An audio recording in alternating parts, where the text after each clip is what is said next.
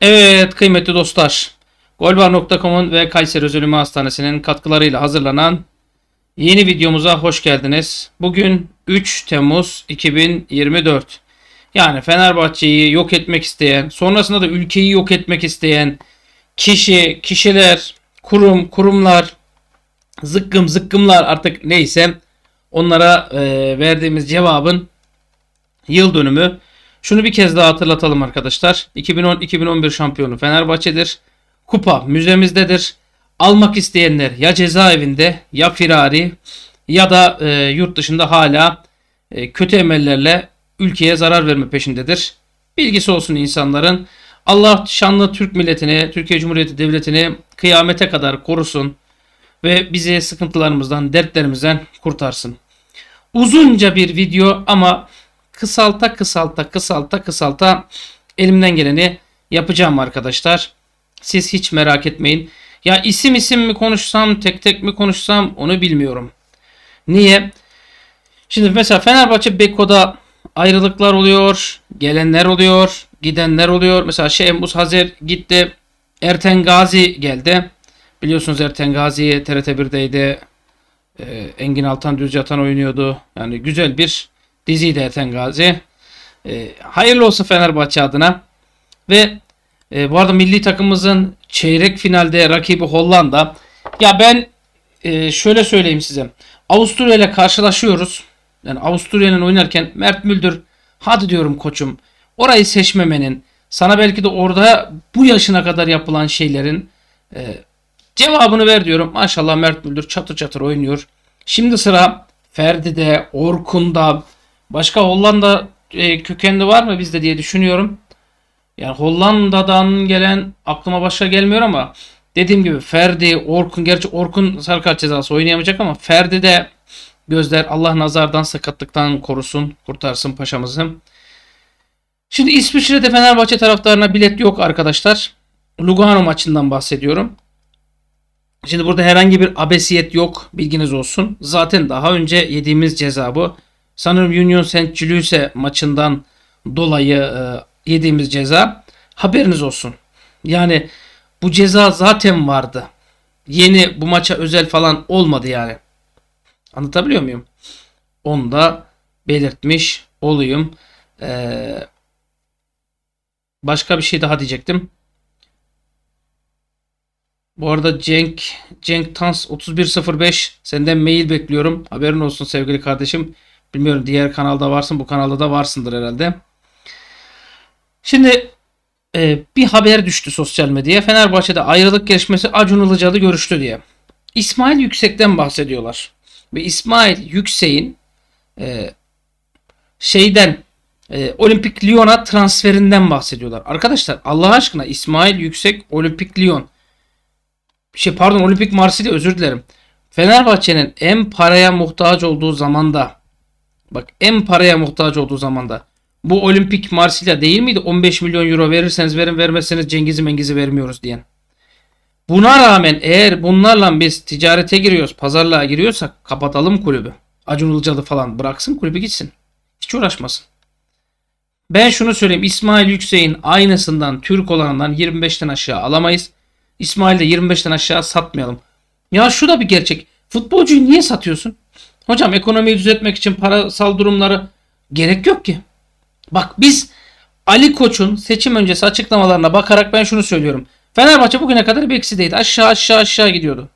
Fakat Ali Koç'un seçimdeki açıklamalarında ben şunu anladım. Yukarı yukarı yukarı gidiyoruz. E yukarı yukarı giderken ne gerek var? Bak. İsmail Crespo Bartu. İsmail az oyuncu. Bartu'a 1.3 verdin. Geleceğin popüler adayı. Crespo transfer market değeri 4. Crespo'yu 6'ya satarsan satarsın. Gidersin üstüne 3-5 daha koyarsın. Höjland, Höylund neyse onu getirirsin. Höyberg onu getirirsin. İsmail Höyberg Bartu. Okey. Bitti. Fred mesela. Fred'i 35'e satayım da yerine 7.5'luk 3 tane adam alayım dersen mesela Fred'in arkası boş. Fred'in arkasına adam lazım bak. Zayt, Kurunic geçin bunlara. Ben futbolcuyu çöplemiyorum. Yerin dibine sokmuyorum ama Zayt'sı Kurunic'i Murunic'i gönderin. Gerek yok. Mesela Edin Dzeko olayı. Ben Edin Dzeko'yu çok seviyorum. Çok karakterli, kariyerli, şerefli, haysiyetli, onurlu bir futbolcu.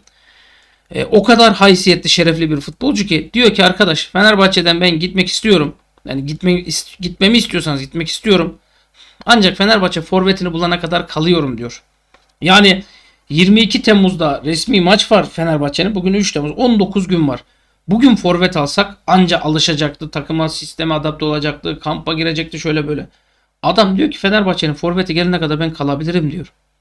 Bak Çağlar Söyüncü olayında da oldu. Bu arada Çağlar bir kez daha Fenerbahçe'ye hayırlı olsun. Fenerbahçe'nin evladı Çağlar. Ben size ne dedim ısrarla? Arkadaşlar herkese hodri meydan. Çağlar eninde sonunda Fenerbahçe'ye gelecek dedim mi? Eninde sonunda gelecek dedim mi? Dedim. Ama dedim Haziran'da ama Temmuz'da ama Ağustos ama Eylül'de gelecek dedim. Dediğim gibi oldu mu? Oldu. Çok şükür. Allah'a çok şükür.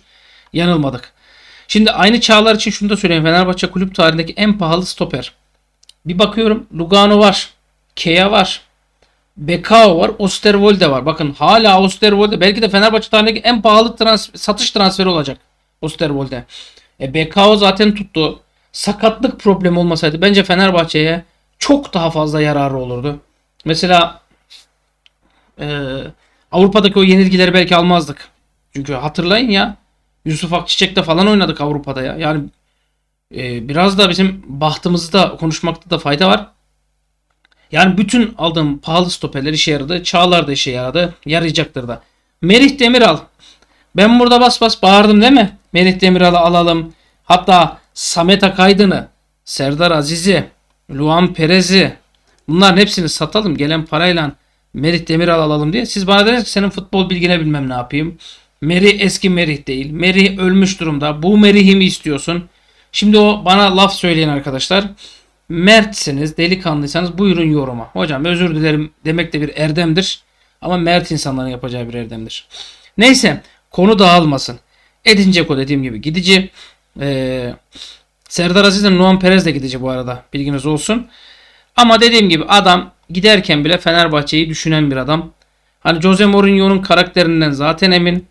E, insanlığından zaten emin. Ve böyle bir e, futbolcumuz var. Kombineler açıklandı. Kombinelerde ciddi bir zam olduğundan insanlar şikayetçi. Şikayet etmeye gerek yok arkadaşlar. Ben şöyle bir hesaplama yapıyorum. Geçtiğimiz sezon e, biz hani tatile falan gidebiliyorduk. Öğretmen maaşıyla ailecek gidebiliyorduk. Bu sene gidemiyoruz yani. Anca bacanak otel olur. Anca birinin yazlığı olur. Hocam buyur gel kal. Ne olacak bir hafta kal. E, yiyecek değilsin ya evi der. Ki çiçek gibi de bakarız arkadaşlar. Öyle bir şeyimiz de var. Edebimiz de var çok şükür. Hani düşündüğün zaman geçen sene akaryakıt fiyatı bu senekinin herhalde yarısı kadar falan. E, düşündüğün zaman kombine de artacak. Ama ben taraftara katılıyorum. Taraftar diyor ki bu kombine bu fiyat oluyorsa adam gibi transfer gelecek diyor. Hani olmayacak diyor. Haklı mı? Haklı. Bak Fenerbahçe'ye dev sponsor Otokoç. Bonuslarla birlikte yani Fenerbahçe'nin başarı bonuslarıyla birlikte yaklaşık yaklaşık 10 milyon euroluk bir anlaşma. Sadece göğüs. Ben size dedim yanındaki o Safi Port ben 4 diyebiliyorum. 6 diyen de var. Farz edelim 4. 4 milyon euro yandakinden 10 milyon euro göğüstekinden 14 milyon euro. Diğer koldakiler şunlarla bunlarla hadi 4 5 4 6 da oradan gelsin. Ya da şu yandaki 6 olsun. Şura 10 olsun 16. Yandakilerle birlikte 20 milyon euroluk bir sponsor. Yani sadece formanda 20 milyon euroluk sponsor varsa kusura bakma çatır çatır adam getireceksin. Mourinho 5 isme tam not verdi. 3 isme çizik verdi. Bunlar doğru değil arkadaşlar. Bilginiz olsun. Yani mesela ee, ne diyor? Cart diyor, curt diyor. Mesela Miha Zayt'sı beğendiğini söylüyor. Beğenmedi arkadaşlar. Beğenmedi. Bak Otokoç mesela ben şunu söyleyeyim. Freddy, Osterwolde'yi, Cengiz Ünder'i beğendi Beğenir. Zaten Fenerbahçe bak şöyle söyleyeyim size. Birinci vites, ikinci vites, üçüncü, dördüncü, beşinci vites gibi düşünün. Maksimum beşinci vites. Şimdi Serdar Aziz'i kaçıncı vitese koyarsınız? Kaçıncı vites basamağına? Luan Perez'i, Kuruniç'i, Zayt'sı, Ceko'yu mesela Ceko'yu en az 3. vitese koyarsın. E, Fred'i 5'e koyarsın. Osterwolde'yi 5'e koyarsın. Cengiz Ünder geçen sene sakatlıklarla boğuştu etti ama ben hala Cengiz Ünder'i 4. ya da 5. vitese koyarım. Ne derseniz deyin. Fenerbahçe'den çılgın bonservis bedeli Branko teklifi yaptı. Geri sayım Ennesiri'den bahsediyor. Yusuf Ennesiri.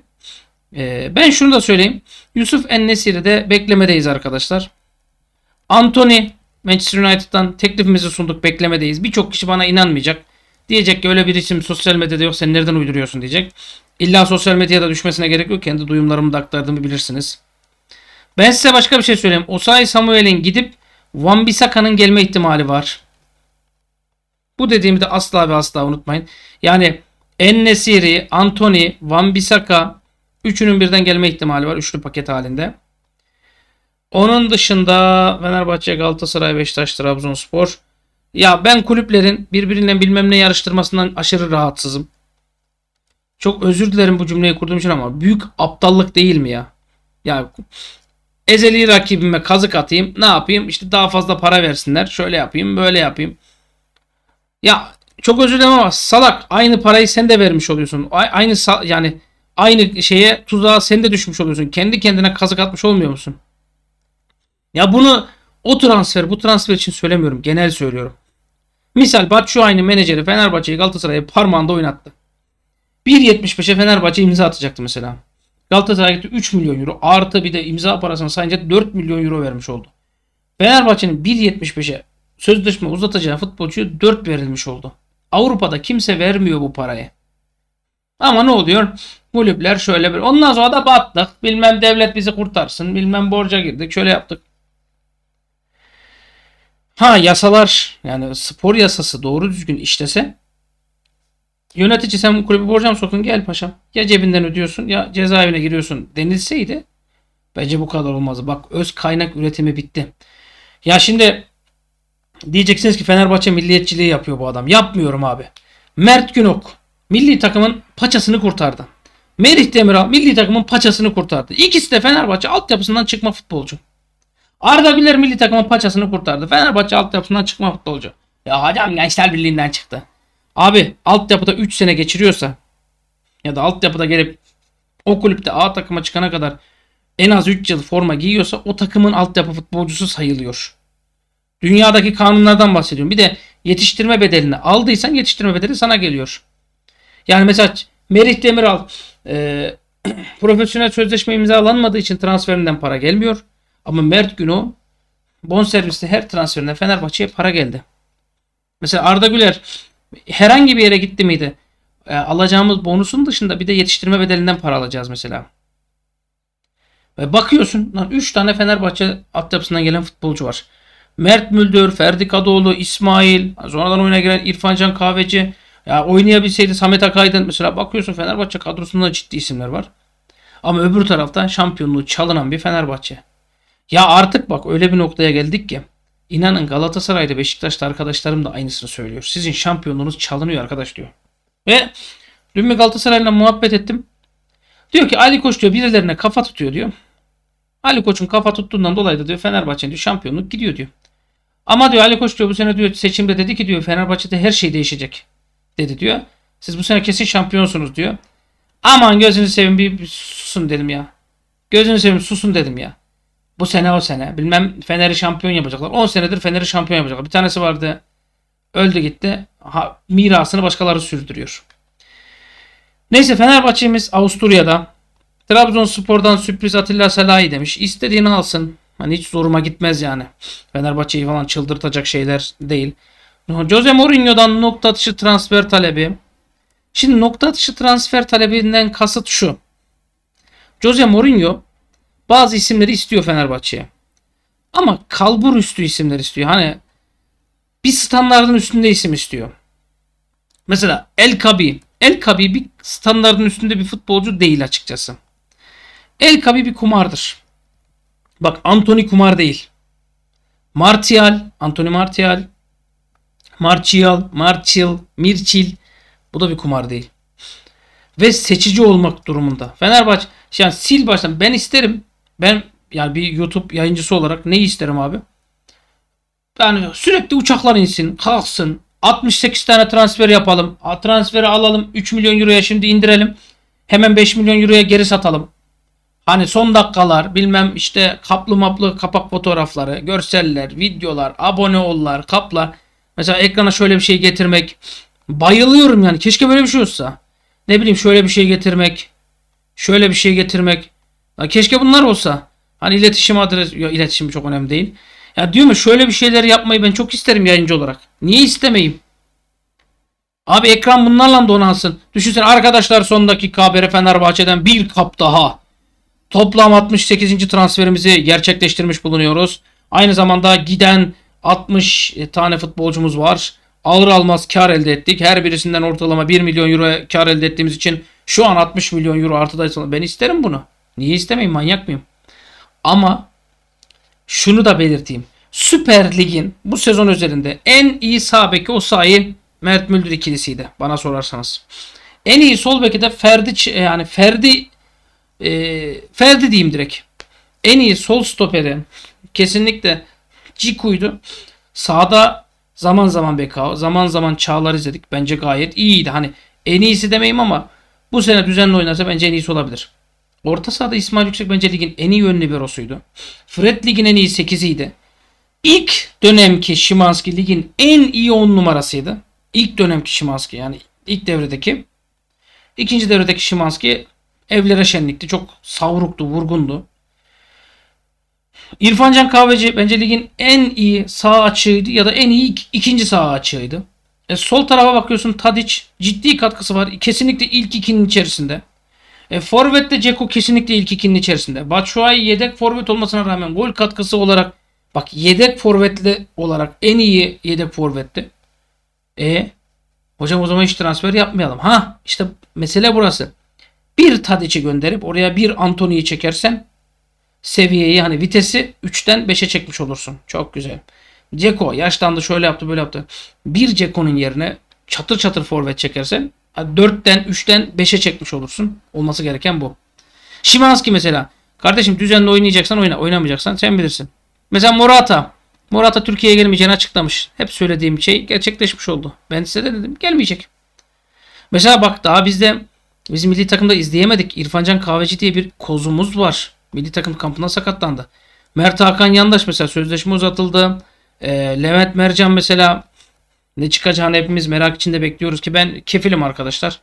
Allah'tan bir mani gelmese inşallah çatır çatır da oyuncu. E, Mario Branco boş durmuyor. Yusuf Ennesiri ile görüşmeler yapılıyor. Bilmem ne yapılıyor. El Kabi. El Kabi de rakip Lyon diyor. El Kabi'ye Mourinho okey dediği anda El Kabi Fenerbahçe'de. Anlaşma şartları da gayet iyi.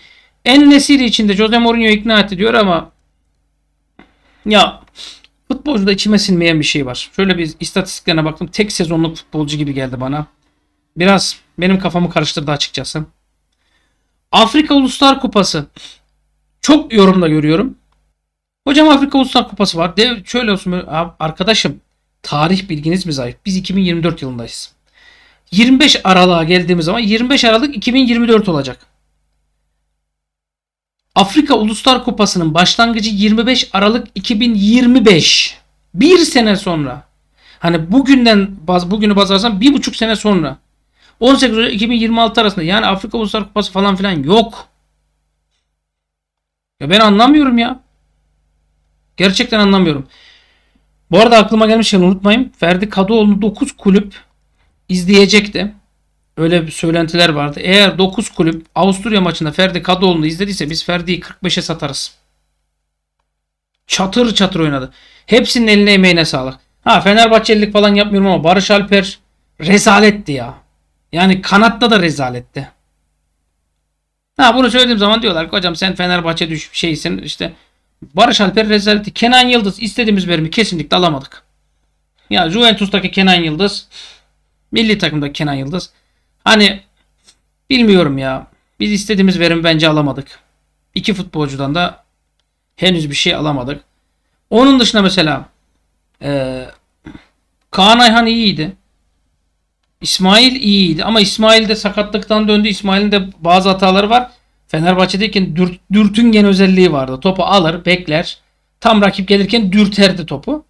O saçma özelliğinden bir dönem vazgeçmişti ama dün sakatlıktan yeni çıkmanın etkisine bir iki tane bunu yaptı. Ee, sarı kart da cezalısı İsmail Yüksek. Hollanda maçında yok. O da çok kötü oldu bence. Ha, İsmail için dediğim gibi ben İsmail'i bugün satacak olsam 25'e satarım. Ferdi'yi satacak olsam 35'ten aşağı satmam. Bakın ciddi paralar bunlar. Hani kağıt üstünde baktığı zaman küçük, gözüküyor ama ciddi paralar. Şimdi Jose Mourinho transfer mesajı demiş. Jose Mourinho 3-4 tane isim istiyor. Ama 3'ü de 4'ü de kaliteli olsun. Duygusal değil mantıklı. Mesela ben Çağlar'ı diyor Roma'ya da istemiştim diyor. Açıklama yapıyor. Ben Çağlar'ı Roma'ya da istediydim diyor. Olmadı diyor. Şimdi yönetime teşekkürler diyor. Bak bir tane yıldız transferi yaptılar bana diyor, demeye getiriyor. Hocam bırak Çağlar'ın neresi yıldız? Ele geçirene kadar, elde edene kadar çöp, şey yıldız, elde ettikten sonra çöp muamelesinden vazgeçin. Bakın Fred yıldızdır. Şimanski yıldızdır. Ferdi yıldızdır. İsmail yıldızdır. Ciku yıldızdır. Osterwolde yıldızdır. Ne derseniz deyin bunlar yıldızdır arkadaşlar. Biz Livakovic'i beğenmiyoruz. İstediği kaleci antrenörü falan da geldi. Belli mi olur? Belki Livakovic'in senesi olacak. Allah aşkına. Çekya maçında 3 tane net çıkarttı Mert Günok. 3 tane net pozisyon çıkarttı. Dün Avusturya maçında yanlış saydım mı bilmiyorum ama 4 tane olması lazım. 4 tane net pozisyon çıkarttı. Şimdi Mert Günok'un yerine sıradan bir kaleci olsaydı Çekya'dan fark yiyen bu maça hiç çıkamayan bir milli takım vardı ortada. Belki de en iyi 3. olarak bu maça çıkıp gittiği takımdan 3 yiyen 4 yiyen bir milli takım vardı. Yani bazen kadere belirleyen futbolcular da önemli. Anlatabiliyor muyum? Bazı takımlar umarım ödeyebilir demiş. Arkadaşlar ben bunun derinlemesine girdim. İngiltere'de Galatasaray'ın Zaha'nın maaşını ödeyemediğine dair söylentiler varmış. Ve ciddi söylentilermiş bunlar. Ee, bizim medyada tabii ki de yer almaz böyle şeyler. Niye yer alsın? Galatasaray'ın güdümünde olan medyada ne geçsin bunlar? 6-7-8 transfere gerek yok diyor. Bakın 6-7-8 transfere gerek yok. Demek ki giden gelen sirkülasyon az olacak. Hocam sana ekmek çıkmayacak. Niye çıkmasın? Hazırlık maçları başlıyor. Canlı yayınlar. Değerlendirme canlı yayınları yapacağız inşallah. Hediye üyelikler verilecek. Bu arada 3 Temmuz'dayız. 2 Ağustos'ta inşallah bu kanal yani Kadıköy Sokak ana kanal 69800 yazan kanal üstümüze çok oynanan kanal her türlü şikayet aldığımız kanal e, üyelikler de açılacak şey de açılacak. Diğer kanalın durumuna göre buradan tamamen buradan devam edebiliriz. Yine ikiye bölünebiliriz. Ah video çekecek bir kişi daha bulsam iki kanalda aktif şekilde devam eder. Orada canlı yayınlar olur muhabbetler olur burada benim videolar olur falan. Bakarız Haberlere ayıracak vaktim yok. Türk yemekleri çok güzel demiş. En gıcık olduğum taraf da bu ya zaten. Ya abi Türkiye zayıflamak için yanlış bir ülke. Türkiye zayıflanacak en son ülke. Zayıflanam zayıflayamıyoruz. Çünkü maşallahı var yani şeyin. Ee, yediğimiz içtiğimizin maşallahı var.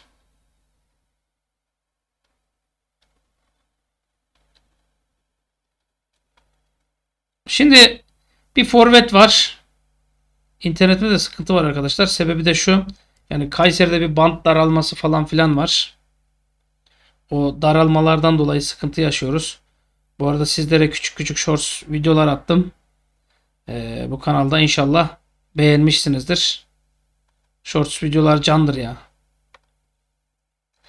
Şimdi Dominic Calvert-Lewin bu ismi unutmayın arkadaşlar. Everton'dan 27 yaşında 1.89'luk İngiliz santrafor.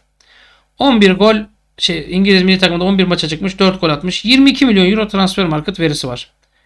Ancak oyuncunun performans verisine baktığım zaman garip bir veri elde ediyorum. Yani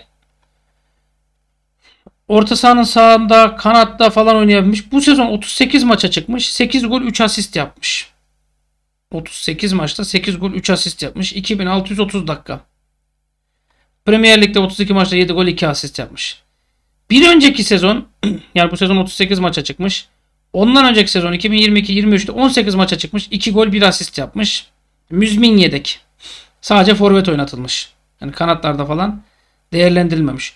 Ondan önceki sezon 18 maçta 5 gol 2 asist. Ondan önceki sezona bakıyorum. Yani bu arkadaş Şimdi ben anlat, anlatmak istediğimi e, toparlayıp anlatacağım. Ondan önceki sezon yani 2020-21'de 39 maçta 21 gol 3 asist yapmış. Çatır çatır futbolcu. Şimdi benim anlatmak istediğimi şöyle anlayın. Biz Ennesiri'yi mi alıyoruz? Yedeği El Kabi olmasın. Calvert Levin olsun. Anladınız mı şimdi demek istediğimi? Yani şu an demek istediğimi net olarak anladınız mı arkadaşlar? Ben net olarak anlamanızı istiyorum. alıyorsak bizim as forvetimiz bu. Yedek forvetimiz bu olması lazım. Yani birisi 20 milyon euro, birisi 22 milyon euro piyasası olacak. 5 oyuncu değişikliği hakkım var. 5. Onu değiştir, bunu değiştir, şunu değiştir. Ee, yani değiştir babam değiştir. Ve dönüşümlü oynatacaksın. Bu ismi de unutmayın. Samarzic transferi çok soruluyor. Samarzic için görüşmeler sürüyor arkadaşlar. Yusuf Yazıcı hamlesi diyor Fenerbahçe'den. Benim bildiğim bilgim dahilinde Yusuf Yazıcı Beşiktaş'a gidecek. Ben böyle biliyorum en azından. Samarzic için de elimizden geleni yapıyoruz. Görüşmeler sürüyor. Ee, hocam bu çocuk bu kadar övülecek, büyütülecek bir çocuk mu? Büyütülecek bir çocuk. McKennie ismi Amerikalı orta saha Juventus'tan sadece şartlarını sorduk. Bendeki duyumlar böyle. Hani sadece şartlarını sorduk. Tadic, Şimanski, Livakovic bunlar da kampa katılacak bekliyorum diyor Jose Mourinho. Hani bekliyoruz bakalım. Mesela Crespo, Bartu Elmaz dediğim gibi Avusturya'da iyice denenecek. Çünkü Ali Koç, Mario Branco çalışmalarını sürdürüyor. Ee, başka Mehmet Büyükekşi'ye tepki verilmişti. O benim umurumda değil. Ne yapıyorsa yapsınlar ona. Çok şey değil. Ya Samarzic için hocam sen Samarzic gelir diyor musun? Ben gelir diyorum Samarzic için. Ama Samarzic olmasa da o ayarda birinin gelmesi lazım. Bak Fred'in hocam iyi de senin bu mantığına göre biz alıyorsak bile Fred'in yedeğini almış oluyoruz. Yani sen böyle demek istiyorsun değil mi? Evet ben böyle demek istiyorum. Hocam Fred'in yedeği içinde bu kadar para saçılır mı? Bakın arkadaşlar İsmail 6 oynuyor. Fred 8 oynuyor. Şimanski 10 oynuyor. Bu İsmail Kartal sistemindeydi. Jose Mourinho sisteminde İsmail 6'dan 8'e kırma. Fred 8, Şimanski 8 oynayacak. Şimanski'den çok iyi 8 olur. Çünkü presi var, baskısı var, koşuları var, ara pasları var vesaire var vesaire var. Yani Şimanski'den çok iyi 8 olur. Bak 8 var 1. Mert Hakan'dan da çok iyi 8 olur. Mert Hakan'dan 10 olmaz. 2. Fred var 3. İsmail var 4. 4. Bartu'yu saydım yedek olarak 5. Hala bu bölgeye 3 tane falan adam lazım. 2 tane 3 tane adam lazım. Hocam zaman zaman Şimanski'nin yerine Tadic'i kullanacakmış 10 numarada. Aa, o zaman tamam kaldı 2. Bize bir Samarzic bir de o McKennie lazım mesela. 2 tane şey lazım. Kütür kütür 2 tane orta saha lazım. Hani 20 milyon ben şöyle anlatayım size sizin anlayacağınız tabii. Transfer market değeri 20 milyon euro olan iki tane orta saha lazım. 20 20 40. Bir tane sol kanat lazım. En az 20 olan. 60. Bir tane forvet lazım. En az 20 milyon euro olan. 80. Bir tane daha en az 10 milyon euro olan piyasa değeri futbolcu lazım. 90. Transfer market verisi ben söylüyorum size 240 ile 320 milyon euro arasında olacak Fenerbahçe'nin beklentiler bu yönde. Ha yapabilir miyiz edebilir miyiz onu bilmiyorum. Ama Fenerbahçe'ye bir sol kanat en az bir tane orta saha en az bir tane forvet lazım mı şu anda lazım. Mourinho diyor ya 6 7 8 transferi olmayacak diyor. Ben de tam aksini söylüyorum. En az 6 transfer daha olacak. Bak en az 6 transfer daha olacak ve böyle ekranlar kaplan maplan geçecek arkadaşlar. En az 6 transfer. Şaka yapmıyorum. En az 6 transfer daha olacak. Görün bakın dediğime geleceksiniz. Ha hocam 6 transfer olmayıp kendi içimizde çıkarsak nasıl olur? Valla kendi içimizden neyi çıkartabiliriz? Onu bilmiyorum ama kendi içimizden çıkarttığımız, kendi dışımızdan çıkarttığımız şeylere dikkat etmekte fayda var. Bütün transfer gündemini bir videoya topladım. Hepsini sizlere aktarmak istedim. Bilmiyorum arkadaşlar. Hani ben bu videoya ne başlık koyacağım, neyi anlatacağım. Hani e, gerçekten bilmiyorum ama Fenerbahçe'nin 4 transferini açıkladığımı düşünüyorum. Hocam bu kanaldaki takipçilerimin ben şeyini biliyorum, profilini biliyorum. Herkes bana şunu soracak. Hocam yüzde ver bize. Yani hissi olarak yüzde ver. Biz duyumlarını anladık. Biz duyumlarını dinledik. Bize hissi olarak de ki şunun gelme ihtimali şu. Samarzic benim hissi olarak yüzde 60 içimden geçiyor. En Nesiri arkadaşlar benim hissim En Nesiri gelmeyecek şeklinde. Ama bir duyum geldi. Mourinho görüştü etti diye. Ben yine de gelmeyecek diyorum ya. Hissi olarak en Nesiri'yi almayacağız. Başka birini alacağız gibi geliyor. Calvert Lewin ismi ikinci forvet olarak kesinlikle alırım. As forvet olarak almam. %40 diyeyim. Orta saha McKennie eğer Samarzic olmasa %75. Ama Samarzic olursa da zaten olmaz arkadaşlar. Hocam hem Samarzic hem McKennie olur mu? Zannetmiyorum. Fenerbahçe bu topa girmez diye düşünüyorum. Anthony kanat olan Anthony. Teklifimizi yaptık. Ee, kulübü kabul ederse %75'in üstünde ihtimal veriyorum. Ama bizim teklifimiz çok ucuz bir teklif. Dün bir arkadaş yok hocam Greenwood mu Anthony mi desen diyor Anthony derim diyor. %75 diyeyim ben de o zaman da o arkadaşım sevinsin. El Kabi bence El Kabi olmayacak.